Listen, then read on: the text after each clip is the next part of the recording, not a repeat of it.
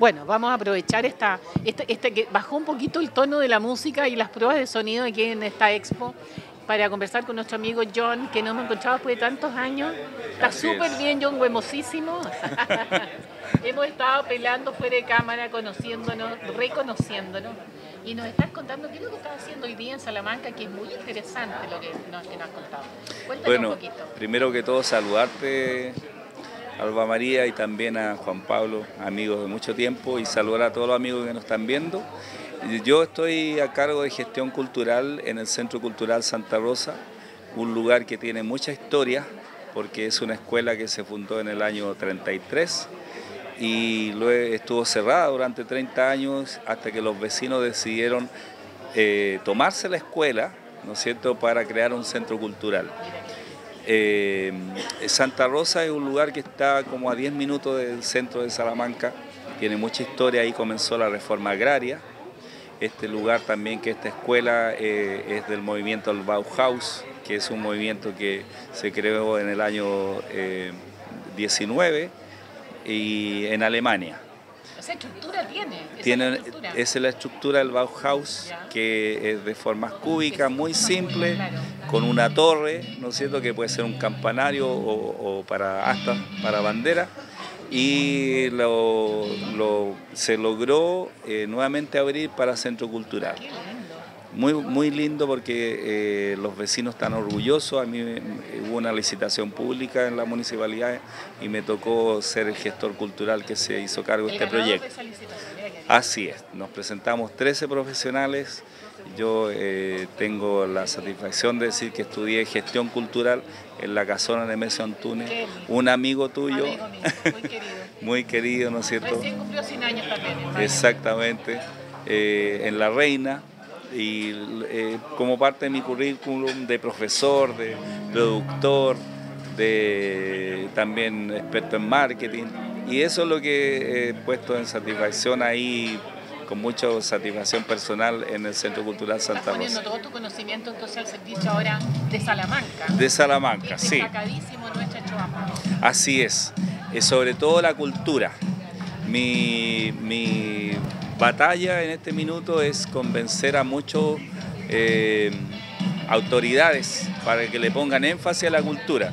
Siento yo que ahí está el futuro de los pueblos.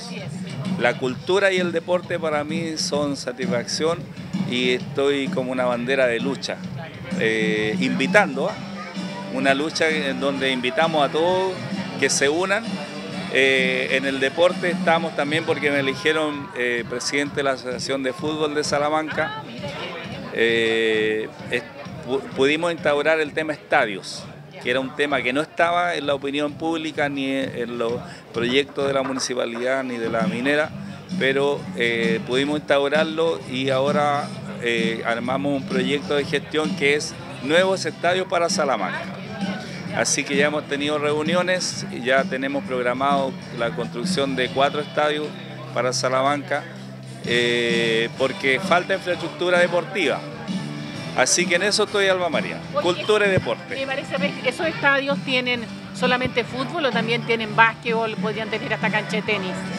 Mira, eh, ahora eh, para comenzar sería para el fútbol y también como centro para la comunidad no, eh, independientemente que esté administrado por uno, de nuestros clubes, pero es para la comunidad. de la comunidad también. De la comunidad, sí. Por ejemplo, en, en, en Quelén Alto, los niños de los colegios van a hacer deporte ahí.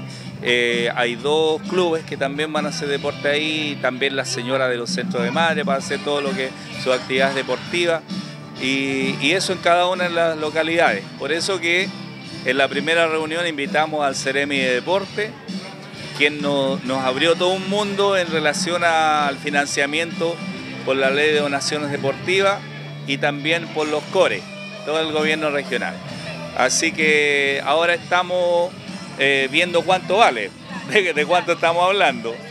invitamos ahí a la minera Los Pelambres también para que se uniera a este proyecto y, de saber cuánto valen, vamos a ver cuánto aportan ellos como empresa privada y cuánto aporta el, gobierno regional. Claro, porque en deporte tenemos, aparte de, tenemos también la posibilidad de una piscina, la posibilidad de patinaje, también los niños están muy entusiasmados con eso. También las pistas de recortar, ¿no es cierto?, para hacer todo lo que es atletismo.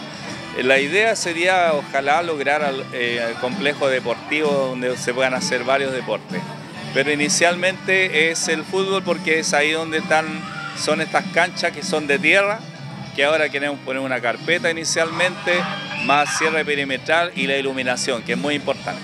Porque te cuento, Alba María, que eh, nuestra asociación tiene siete series que van de los niños de 8 a 13 años, seguimos con los jóvenes, las mujeres, la primera serie, la segunda serie y los seniors que son 35 eh, hacia 45 y super senior, sobre 45 años.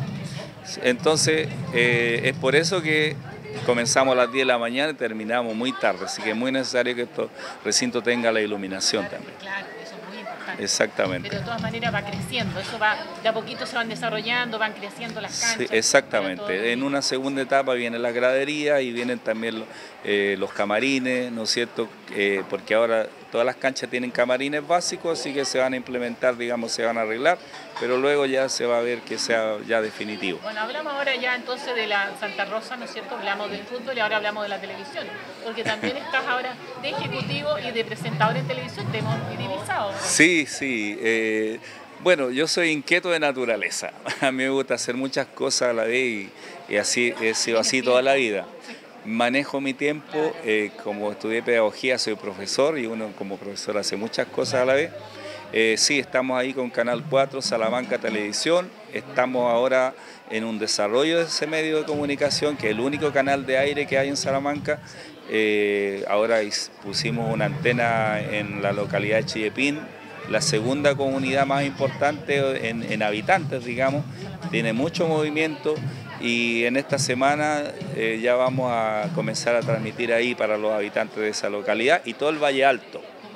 Ya, así que eh, siempre yo digo lo siguiente, si ustedes tienen una idea que quieran desarrollar, bienvenido sea, ¿no es cierto? Cae en una mesa de trabajo y vemos si puede transformarse en un programa de televisión. Magnífico, magnífico. ¿No es cierto? Con la... creo que mucho tiene que hacer y mucho conversar de cultura en ese canal, Así de deporte, o sea, tú tienes todas las áreas ahí que se pueden llevar a la televisión. Esa es la idea, sí. Por ejemplo, también me han hablado de, los discapacitados porque la inclusión es muy importante también, que nos tiene que motivar a todos y, dar a conocer sus actividades, también motivarnos, ¿cierto? Saber qué está pasando y también hemos estado haciendo con el tema de turismo también importante en Salamanca, eh, buscando lugares que sean también inclusivos para ellos, que no tengan problemas de entrar a un restaurante, a una residencial, a un hotel. Hacer, caminatas y la gente Hacer caminatas, sí, exactamente. Eh, hay, hay, un plan especial de hacer eh, turismo para la gente con discapacidad que pueda llegar y que pueda eh, tener las mismas oportunidades de todo el mundo, porque la verdad es que somos todos iguales y hago un llamado para los empresarios que quisieran unirse a esto, que también lo, es importante que nos unamos en eso. Exacto. Bueno, ahora teniéndote en Salamanca, vamos a unirnos a través de la televisión de todas maneras, porque creo que el Choapa hay que unirlo. Estamos, es. una provincia muy enorme y con mucha riqueza cultural, sobre todo, muchos artistas, muchos gestores. Eh, tenemos los petroglifos más importantes de Chile, están en Salamanca. Exactamente, sí. En ese sentido, eh, bueno, Salamanca es parte de esta provincia y yo siento que somos una provincia privilegiada. Estamos muy bien ubicados porque estamos cerca de las grandes urbes que son Santiago, Valparaíso Viña y Coquimbo La Serena, en donde se concentra la mayor cantidad de turistas, ¿no es cierto?, gente que nos visita de todo el mundo. Por eso que eh, tenemos que dar a conocer que existimos, ¿no es cierto? Esta es la puerta de entrada a la región. Todos pasan por aquí, pero queremos que se queden a, un par de días para conocer de, de mar a cordillera. ¿ah? Porque en, en un día se puede estar tanto en el mar o en la cordillera. Estamos a 83 kilómetros de Salamanca, así que eh, es una gran oportunidad. En una hora y media estamos arriba, en la cordillera estamos en el mar. Oye, y además de eso, que esta es la región del siglo XXI, no hay que olvidar. Exactamente, yo creo que ya estamos eh, viendo la luz, ¿no es cierto? Sobre todo lo que es como destino turístico, eh, Salamanca, Canela, Illapel, los Vilos tienen grandes oportunidades. Eh, yo siempre digo, estamos a tres horas y media, ¿no es cierto? Tres horas de Santiago, Viña, Valparaíso, La Serena y Coquimbo.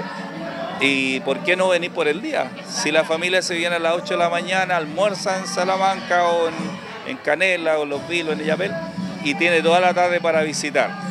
¿No es cierto? después de las 8 o 9 ya pueden volver tranquilamente a su casa. Una carretera con cuatro pistas, que no hay problema. Exactamente también contento porque se está abriendo acá la puerta aquí en Los Vilos, ¿no es cierto?, para lo que es Illapel, Salamanca, Canela y todo el interior, con este trébol que se está haciendo ahí por gestión de las autoridades, ¿no es cierto?, y un anhelo de hace mucho tiempo que teníamos nosotros como comuna. Bueno, y aquí estamos en esta Expo Choapa donde pudimos encontrarnos y que ha sido una excelente. Yo felicito al organizador, felicito al gobernador porque realmente se le ocurrió traer para acá a los vilos y permite que los vilos de alguna manera estén vivos en este minuto. Exactamente, sí. Eh, mira, yo creo que siempre es bueno descentralizar. ¿No es cierto? Eh, es algo que nosotros estamos haciendo en Salamanca también, de que no todo ocurra en el centro de la, en la plaza, sino que también las 33 localidades que tiene Salamanca. Es muy amplio, son tres valles, 33 localidades. Por eso que nosotros cuando decimos que estos niños que vienen muy alejados de la zona rural tienen, deben, son salamanquinos y tienen las mismas oportunidades que todos. Y siento que eh, nosotros como provincia nos tenemos que unir, ya estamos creando una red de cultura, me ha tocado a mí ir a hablar con la Casa de la Cultura de Yapel, aquí mismo estuve también hablando eh, con el encargado, eh, hicimos muy buena alianza, también en Monte Aranda estuve hace unos pocos días y esta semana voy a, Canela. Mira, en, lo que, en, qué coincidimos, por ejemplo, que el teatro está muy débil, las artes escénicas. Están muy débiles. Aquí hay un grupo de teatro muy bueno, sí. ¿eh? Hay que, hay que tenerlo, ¿no es cierto?, por las otras comunas. Hay que traer entre todos, eh, todos los centros culturales o las municipalidades, traer una gran obra de teatro o varias. También traer ballet, ¿no es cierto? Sería muy lindo ver un ballet aquí en Illapel, en la Plaza de Salamanca o en Los Vilos. que traía la minera de hace algunos años atrás. Ya. Lo poníamos justamente aquí en este sector. Maravilloso, porque venían del Teatro Municipal de Santiago. Esa es la idea. Maravilloso. La minera sí. que hay que pedirle a la minera de nuevo que suerte. yo no traía, te digo que es extraordinario. Sí, mira, lo que yo digo siempre hay que conversar, ¿no es cierto? Hay que tener mesas de trabajo, hay que unir a la gente, a, las autoridades, hay que unir al empresario. Nosotros en Salamanca tenemos una gran minera que es el Minera Los Pelambres, pero alrededor de ello hay más de 30 empresas colaboradoras que prestan servicios y que también deben tener presente la responsabilidad social empresarial. Es decir, cómo me vinculo, me vinculo cómo me uno a la comunidad. ¿Por qué me tengo que llevar toda la utilidad? ¿O por qué tengo que pagar todos los impuestos al Estado? Dejemos algo también en la comuna, ¿no es cierto? Y ahí vamos a ver cómo esta convivencia que, a, la cual yo estoy invitando y te agradezco a ti, Alba María, por, darme la oportunidad de dirigirme a los televidentes, unámonos para que podamos hacer cosas en conjunto, todos, desde donde estemos. Si usted está en su casa, si usted está en una empresa, si usted está en la autoridad, si usted está eh, yo le digo desde el que barre, ¿no es cierto? Porque el que barre debe saber también el taxista, dónde mando a mis amigos turistas o dónde, si me preguntan, primero que preguntan, los taxistas. ¿No es cierto? Así que eh, te agradezco por esta oportunidad que me das para dar a conocer este mensaje para la provincia. Puedes contar con nosotros porque estamos en la misma. La, verdad es esa, Choapa tiene que brillar como corresponde. Tenemos que de todo, de todo lo que se nos ocurra. Exactamente. Nos está faltando aquí en Los Vilos nomás un eh, observatorio, digo yo. ¿ah? Sí. Aquí en Choapa nos está faltando un observatorio. Exactamente, sí. Eh, mira, hay, qué bueno que tú me mencionas. Yo acabo de terminar un curso de astronomía recién terminó hace una semana, contento porque se abre todo un mundo, ¿no es cierto?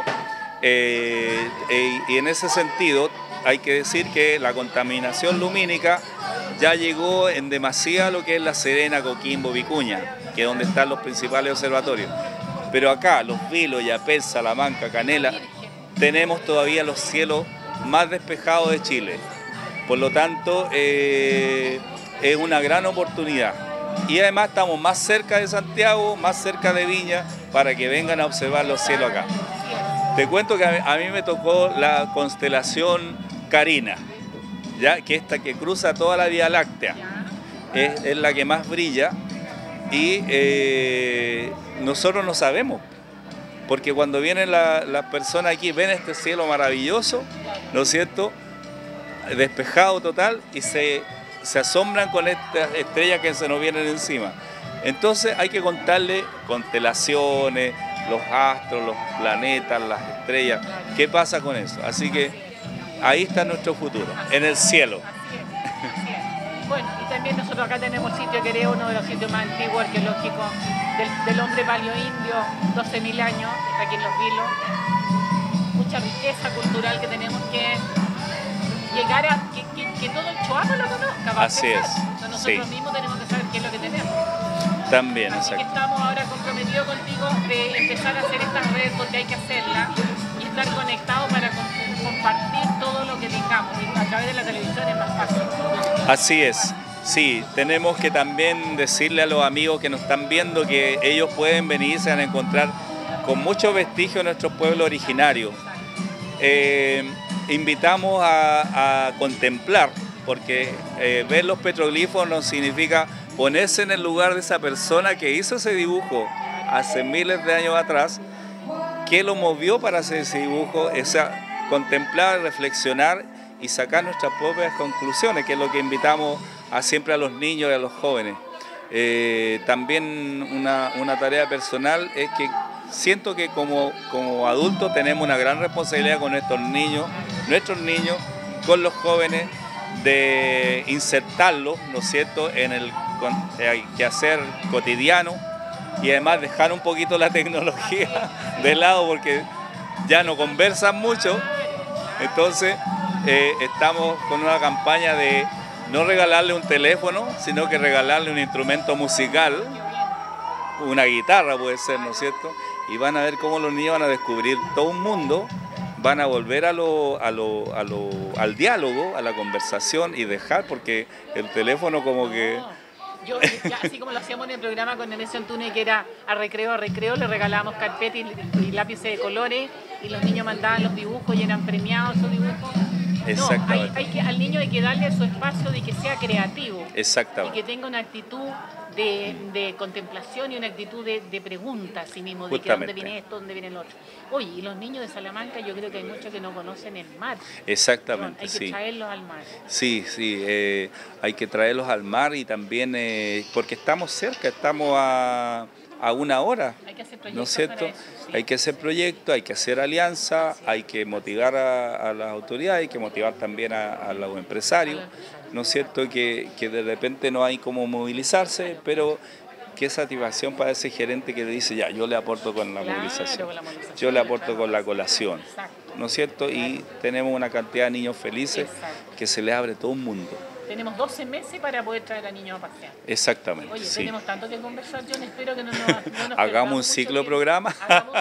Hagamos un ciclo, Con algunos invitados. No, lógico, pero encantado. Tú te vienes acá y al final que firmen un convenio. Eso, bien obligado. no, de todas maneras. Sí, sí, sí. Estamos firmando convenios con los centros culturales de la provincia. Estamos también firmando acuerdos con el tema del deporte para la ley de donaciones porque hay donaciones deportivas, culturales y sociales. Entonces, los impuestos no tienen por qué irse a Santiago, ¿no es cierto? Que se queden en la comuna, se hacen una obra social, cultural o deportiva importante para la comunidad. Bueno, y el último tema que lo vamos a dejar para con algún experto, el tema del medio ambiente, que es un problema de todos nosotros. Un problema nuestro, No es solamente de hablar de que se contamina o que no se bota la basura, sino que definitivamente no estamos cuidando mar, no, estamos cuidando nada, claro. estamos, los animales andan sueltos, o sea, yo, la verdad, la verdad es que estamos teniendo, estamos siendo muy eh, desinteresados de lo que nos rodea. Así es. Y la naturaleza que nos rodea hay que cuidarla. Ese es otro tema que tenemos que hablar. Ese otro tema, sí. Eh, porque ahí también hay que pensar en el futuro. ¿ah? Cuando, cuando hablamos de estos niños, nosotros tenemos la responsabilidad de dejarles un futuro donde ellos puedan eh, comer comida sana. También estamos trabajando con eso, con el mercado de la tierra. Eh, este año, mira, me tocó ir ahí a Santiago a, un encuentro de mercados de la tierra y, también cualquier persona se puede unir, no solamente tiene que producir, también ah, también eh, personas como yo que colaboramos a difundir lo que es slow food, que es comida lenta o comida sana, ¿no es cierto? En donde eh, vamos a comenzar con los colegios para eh, meterlos en esta filosofía de alimentación sana y saludable. Así que eso, tenemos mucha tarea. No, y te voy a presentar un amigo que está, que está más o menos lo mismo, pero de otra parte. Así que yo creo que tenemos potente, potente mesa. Sí, perfecta. Sí, ahora nosotros en el Centro Cultural vamos a hacer un encuentro provincial de centros culturales. Mira Y, y, por eso que ahí te vamos a ir informando, porque tenemos que juntarnos, unirnos y tener tareas en común para la provincia. Eso. Perfecto. Nosotros ponemos todo acá. Y la gente de Pichiangui, que se está moviendo muy bien también. Hay que, voy a destacar la localidad de Pichiangui, Caimanes, que está, estamos un poco desconectados, pero ellos se mueven mucho, porque ahí está Monteranda. Ahí está Monteranda, sí. Y en Pichiangui se está haciendo también un trabajo importante y yo creo que vamos a poder tener también una pequeña sede cultural allá hay un empresario ya, un dueño de, las tierras que está pero absolutamente comprometido con ponerse con un espacio. Mira, me parece muy bien. Muy bonito eso. Y hay que destacar ese tipo de iniciativas para que otros se motiven. Exactamente. Muchas gracias Ana María por tus palabras, me motivan y invitar a los amigos también que que se involucren en lo que está sucediendo en su entorno inmediatamente y luego en su comunidad. Cada granito de arena hace algo aquí. Así es. Muchas gracias, John.